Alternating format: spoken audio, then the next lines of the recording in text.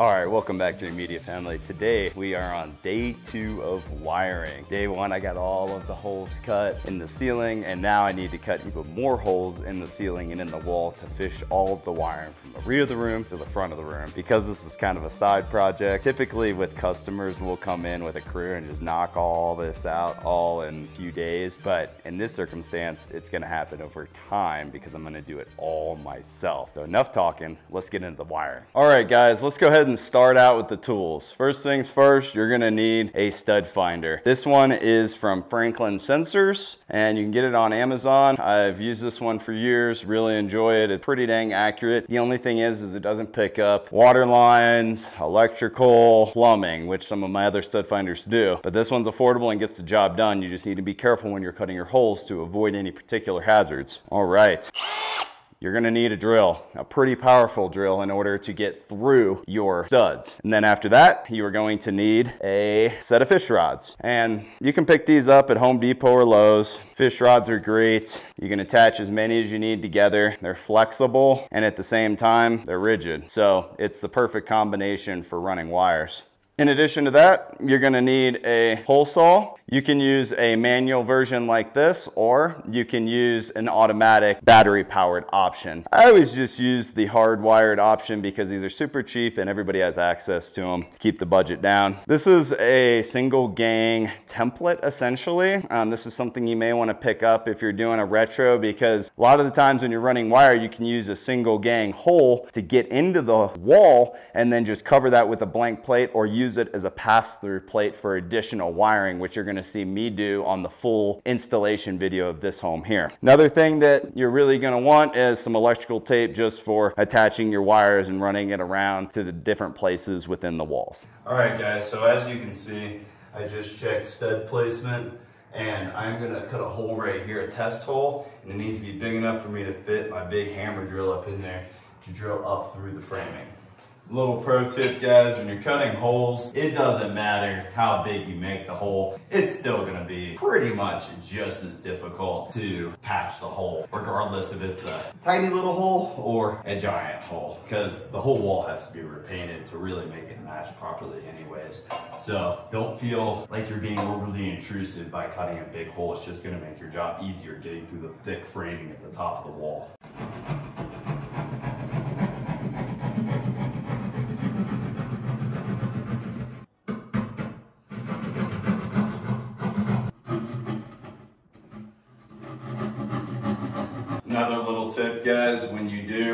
Out sheetrock, save the drywall. Don't push it into the wall, hang on to it. It will make the sheetrock repair guy's job a lot easier. It's called a pumpkin cut. You can just place it right back in, bed and texture and paint over it.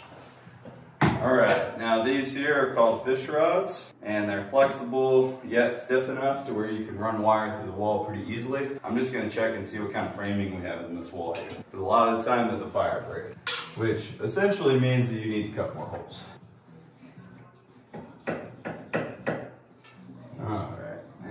Are hitting our first fire break. And it looks like the fire break is right about here.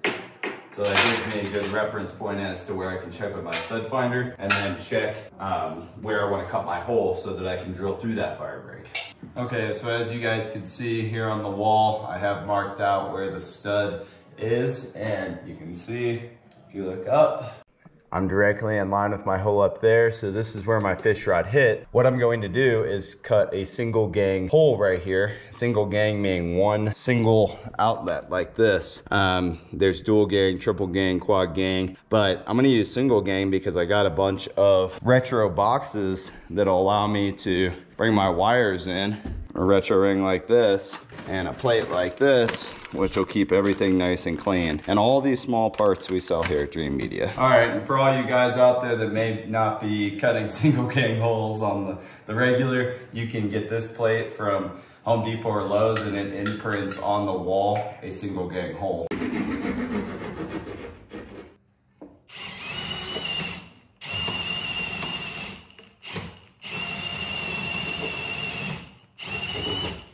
All right, guys, so now that we have drilled through the fire break, the next step is gonna be getting my fish rod through that fire break from my upper hole. And the reason we run the fish rod first is because then we know for sure we're good to go and we can attach our wires to the other end of the fish rod. So I'm dealing with a combination of spray and foam insulation as well as uh, standard insulation. So it makes it a little bit more tricky.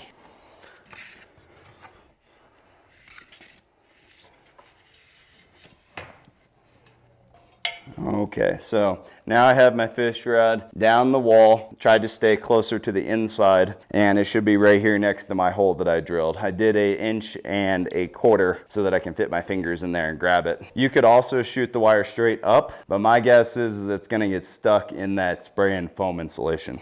We are gonna drill through the framing over here so that we can run the wire for our subwoofer, our RGB lighting, and the speaker wire.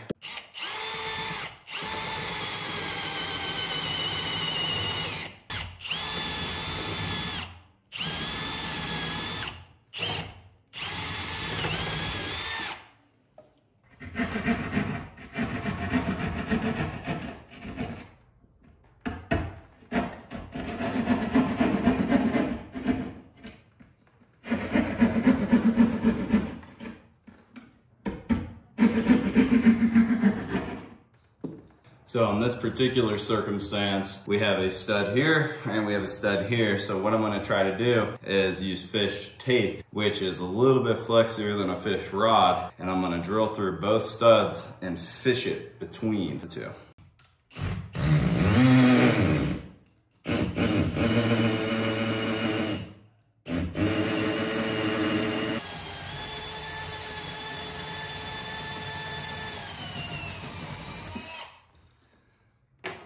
All right, guys. So I'm having a hard time getting this wire through the wall. What I'm doing is I actually removed two of the conductors out of the uh, 14.2 Romex, just the positive and neutral, and I twisted them together because it was just a little bit too thick and not sharp enough to get through that foam insulation.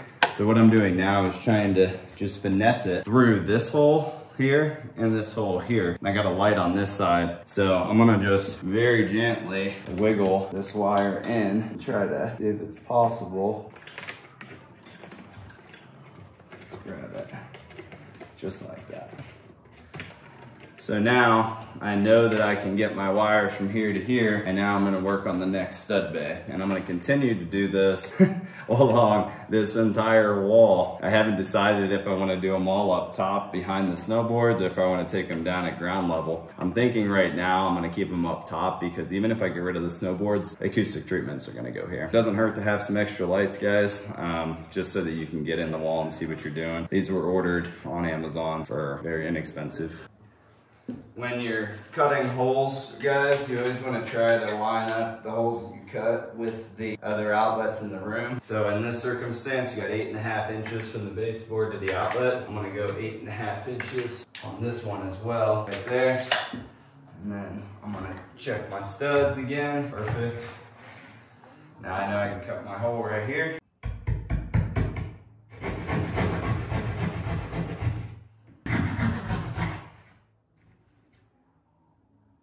I'm gonna take my fish rod. This is a fish hook. Probably use this up in the ceiling, trying to grab the different wires. But for this here, fish rod will work perfect. Straight down the wall.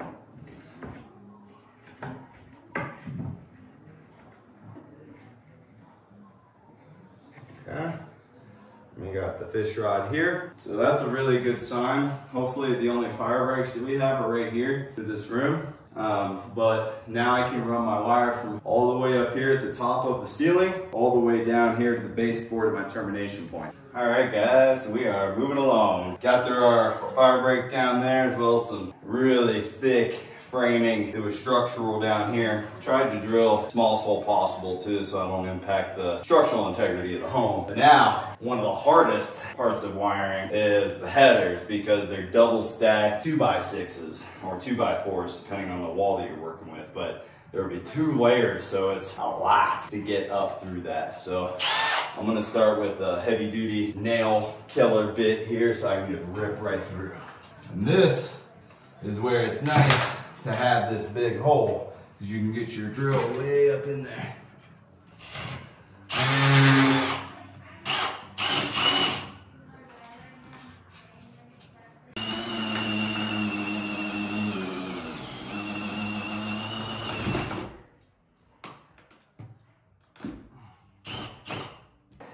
And that is where it pays off to have the right equipment, guys. You got heavy duty hammer drill here, top of the line wood drilling bit that can eat through nails. Some of these things that you're gonna see in this video, you may want to hire one of our preferred installers. We're in 28 states right now, so if you're not wanting to DIY it, give us a call and we'll get you hooked up with a local pro, because they have all this stuff on their truck ready to rock and roll. Okay, so we're cranking now, guys. We're up through our, our header up here. I'm gonna hollow it out a little bit more. And then I'm gonna have to drill through this stud here because we got framing literally right here. Actually, there's a little bit of space above where I might be able to stick my hand up and over the stud. So I'm gonna try to just get the fish rod up in there and see what happens. Okay, I'm gonna start running some of my wires. I'm gonna run speaker wire for my surround speaker that may go over here down the line. And then I'm gonna run my coaxial RG6 for my sub. And that way I can free up a fish rod. I only have one set here at the house.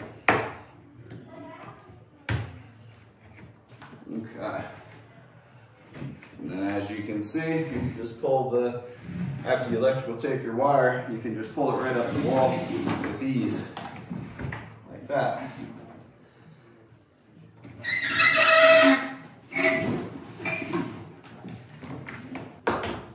All right, now I'm gonna be unboxing the Focal 300 series IW6. Safety instructions, cutout template for tracing out the wall and cutting it. And then we have a grill, and this is a paint guard in case you would like to install the speaker before the walls are painted. This is really nice because everything's ready to rock and roll whenever you're in those final steps of construction. This is the speaker itself. Magnesium, aluminum, inverted dome tweeter that is rotatable. Uh, crystal clear highs here, really rigid, highly responsive, six inch woofer flax cone. You got hi-fi mid-level adjustments here. And wait till you see how easy it is to install this speaker. Now that I've cut my hole, next I'm gonna drill up to where my pass-through plate is up here behind where the snowboard's gonna be and run my wire through all of this framing.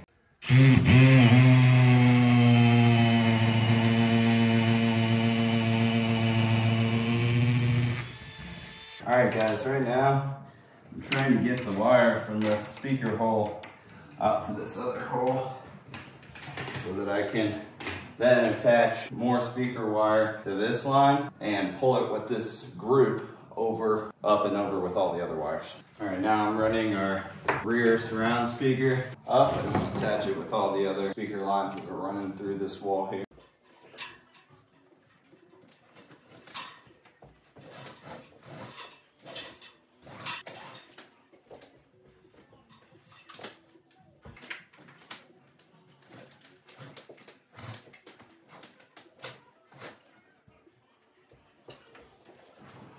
All right, guys, we are moving right along. As you can see, we got our wiring for the right rear side of the broom, and now we're gonna work on the left side of the broom, running all of these wires. First, we're gonna trace out the hole for the 300 series in wall six, cut it, get the wire ran over along with all of our RGB lighting for this back side, and don't forget about our subwoofer RG6 cable.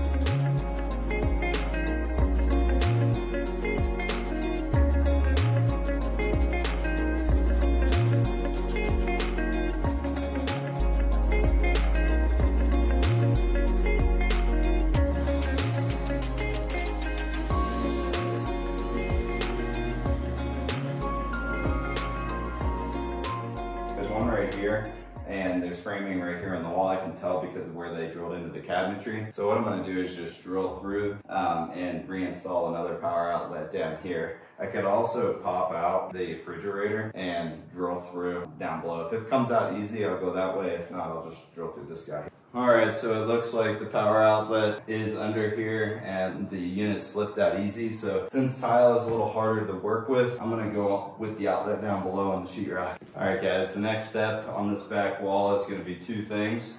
We're going to be running the wiring and cutting the hole for the RG6 subwoofer cable, as well as installing power for the subwoofer cable. All right, back down here in the garage, guys. I'm gonna be getting into my electrical box here and grabbing some components for an outlet. So we're gonna need a couple different things. We're gonna need a blue box, a single gang receptacle. This keeps everything up to city code. And then we're gonna need a power outlet. Just a standard power outlet is sufficient. And then we're gonna need a plate cover. And then I have the Romex upstairs. The last thing I need is a wall plate cover right here. I have a wall plate. I have the outlet receptacle itself, the back box, and the Romex, and that should be sufficient. I have the low voltage stuff for the RG6 upstairs. All right, guys, this is an outlet tester here. I'm gonna kill the power to right here at the bar so that I can relocate this power outlet. You just plug it in and it confirms that first it's wired right, which is the first place to start which you would hope that everything's wired right, but sometimes it's not. Check to make sure it's wired right and then trace the line back to the breaker, kill the breaker, and uh, relocate the power. I'll show you guys how to do that in just a moment. All right, everything's good to go.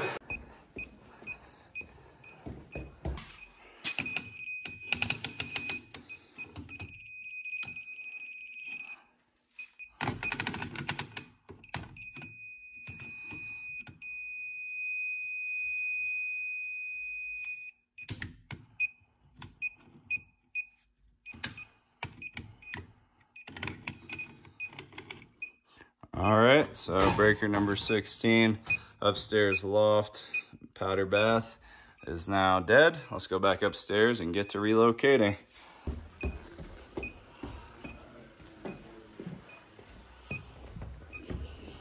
All right, guys, I'm getting super lucky. So sometimes you actually have to run another dedicated circuit back to your breaker whenever you're hooking up a home theater system just due to power constraints. Luckily in this situation, I have a 15 amp here on the uh, bar area that I'm gonna pull over for this subwoofer, which is really demanding. 16 Ultras are just ridiculous. And then the other one that's for this whole side wall, um, basically this whole room, is gonna be um, on its own 15 amp. And then the equipment, which, you know, the projector is gonna pull a little juice, as well as the amplifiers and all that, is gonna sit on this other wall, which is actually tied to bedroom number four, um, which works out perfect. So I got three different 15 amp circuits to work with, and everything in this house is LED, so I should be good to go as far as power is concerned. So power's dead here. I'm gonna go ahead and tap off and move it on over.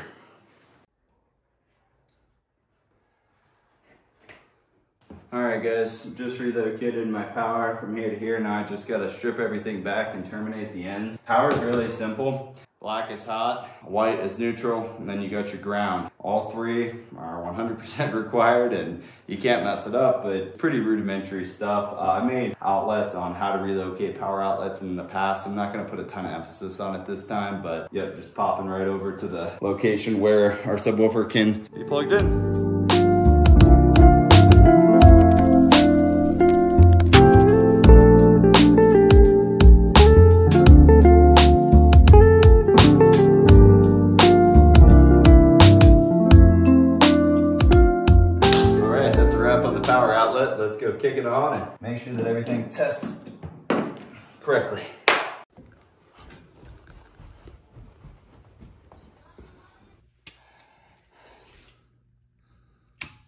All right, as you can see, we got two yellow lights. That means that we are good. Everything is wired correctly.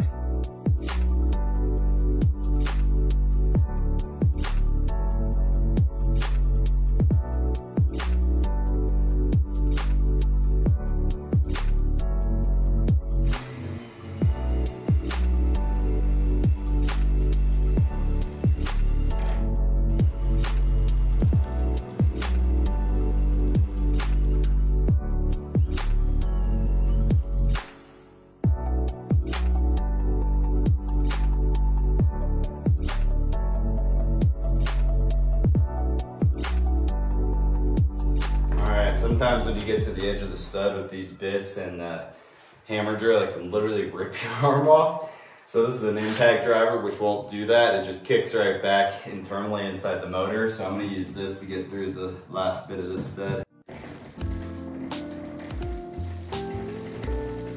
So now we are through this stud here.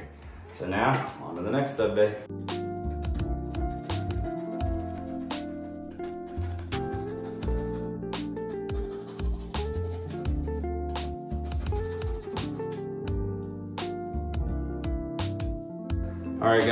Another circumstance where I have a load supporting beam. Uh, there's several two by sixes or two by fours stacked in the wall. When you run into this, if you can, you can just avoid it completely rather than having to drill through four beams or one giant support beam in the house. I want to avoid it because I don't want to mess with the structural integrity of the home. Um, so just like down there, I'm going to do the same thing right here, which it's going to be hidden by the snowboards and down the road acoustic treatments anyways. So moving on. I have a little bit of wire left, Romex wire from all the other ground and neutrals that I pulled out, which are right there in the wall. So I'm just gonna pull out a little bit more. The rest of the wire, the ground wire. Use this to fish between these two areas.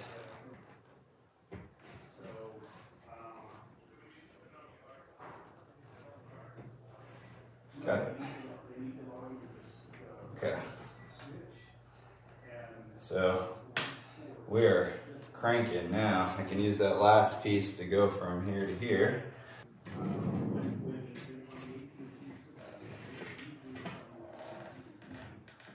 Okay. All right, same thing here, guys. I'm gonna drill through at an angle and single gang here. When this is all done, all the wire should be hidden completely behind the snowboards and more importantly, if I do decide to do acoustics back here, it's keeping everything inside the wall. What I'll do on these particular channels, if I do do acoustics that are gonna sit flat, is I will cut out a little channel in the sheetrock that'll put it inside the wall so everything sits flush. And the acoustics in this space, especially once the furniture's in here, or when the furniture wasn't here, it sounds pretty decent for a flex space. And then whenever you put down these automated shades, they're fabric, so it absorbs a lot of the reverb that we're getting off of the glass. But we'll see, we'll do an acoustic analysis, run some calibrations and room correction and see what we're left with. That'll be way down the road. so stay tuned for that, guys.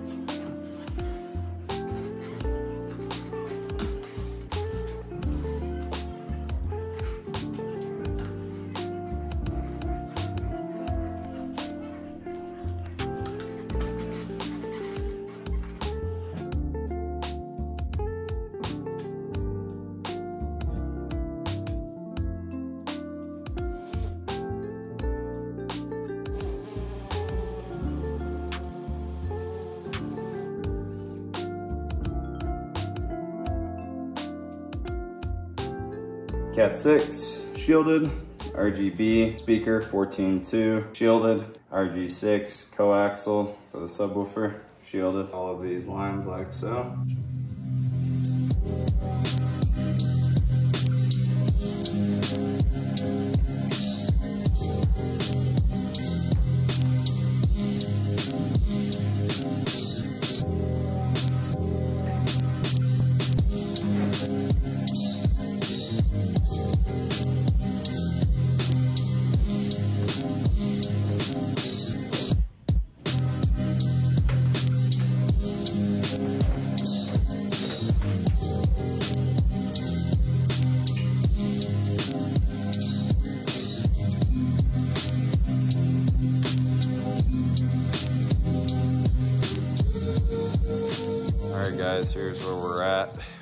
Almost a day in, or two days in officially, on this wiring job and installation. Got the in ceilings put in and just running my additional speaker wires over. My goal today is to be able to get all of the speaker wire up to here. And then the next step is gonna be fishing these over to here and then down this wall.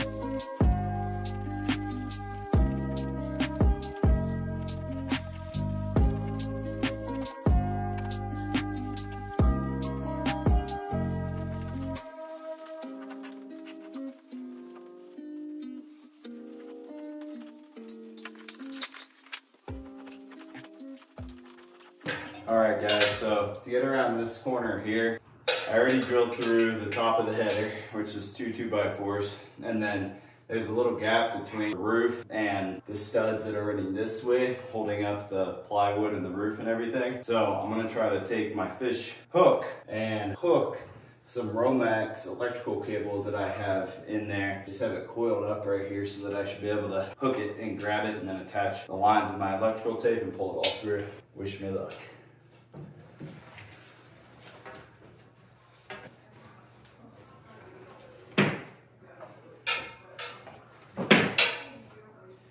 All right, a little bit of patience. It looks like I got it. This fish hook really paid off for me. All right, that was some of the most difficult aspects of this installation. The next one, we're just shooting the line from this speaker hole here to that speaker hole over there. Same thing on this one. So those ones should run straight down. Plus there's some attic access up in there. Um, or not technically access, but there's attic up in there. So um, I won't be able to get in there, but I'll be able to get my phone and camera and look in there and see what's going on, which will make it pretty easy, hopefully.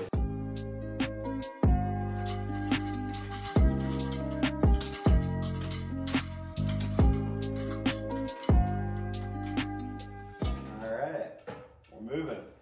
Ran one extra Cat 6 right here to the middle of the wall, just in case I would like to mount a projector back here in a hush box and broadcast onto a screen. I've also been thinking about doing like a motorized drop down in front of all of this, including the doorway. Uh, that way I could do A-B comparisons for shootouts. Just trying to think of all circumstances. This is the first time in a couple years I've had a space that I could turn into a media room. So kind of thinking of all different scenarios. Also running some RGB wire in case I want to light up the front of the subwoofers. Got our RG6 and then over here I got extra data and speaker wire.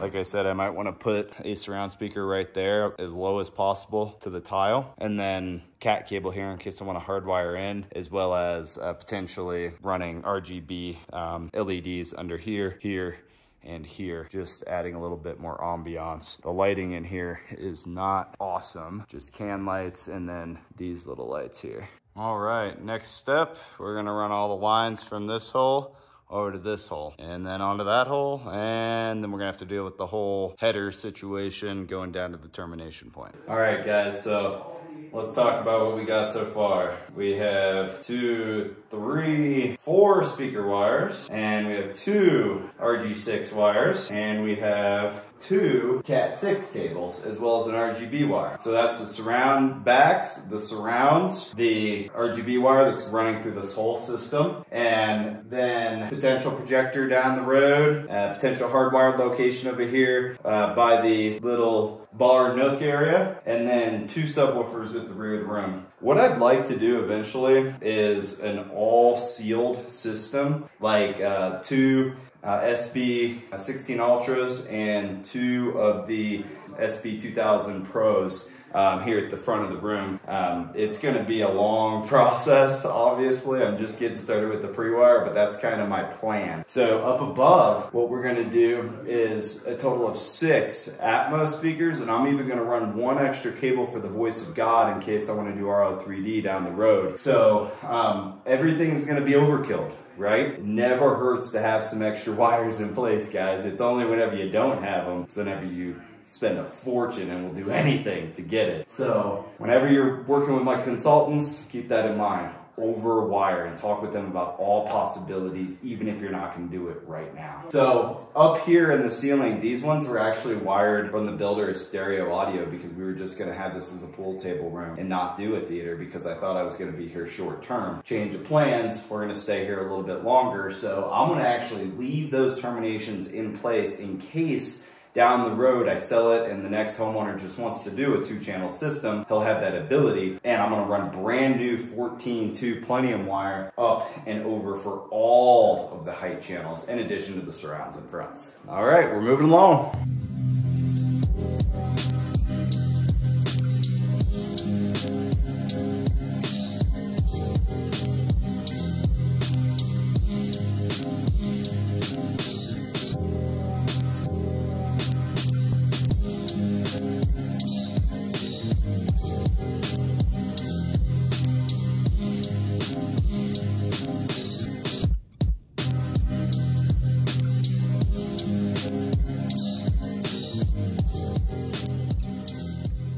It out, guys. We got our line from our Atmos rears to our Atmos mids. Moving along. From here to the Atmos front right, height right, should uh, definitely be easy. That's what's next.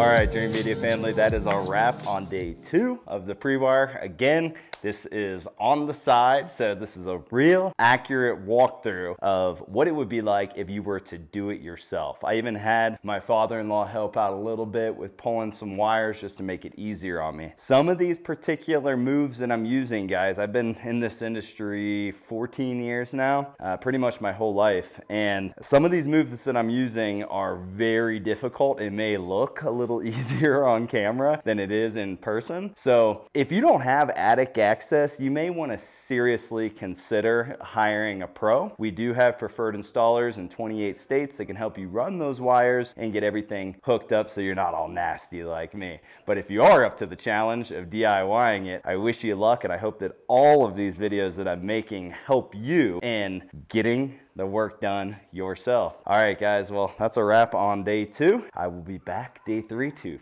finish it up. Let me show you where we are finishing right now. All right, guys, so end of day two, we got our surrounds in, or the wires in. I got extra wires over there for if I wanna do a seven channel bed layer. Down the road, I'm thinking maybe put one there and one up here. For now, I got the wires ran as well as extra cat, extra RGB, all that good stuff. Um, we got our subwoofers pre-wired and then I got all my RGB and drilled through all the studs for the speaker wire, coax, all that good stuff. Got an extra line here, Cat 6 for um, projectors if I want to hook up a Balun and do some shootouts. And in addition to that, we got our line ran for our mid right and our front right and our rear right Atmos. We're gonna have six Atmos speakers. And I'm actually gonna run the voice of God whenever I do these additional speakers here. So as far as the difficult stuff goes, we really just have one, two, three, four more speakers to go. And then we're on to the fun part, the actual, the front of the room. I know some of you guys may be wondering, Zak,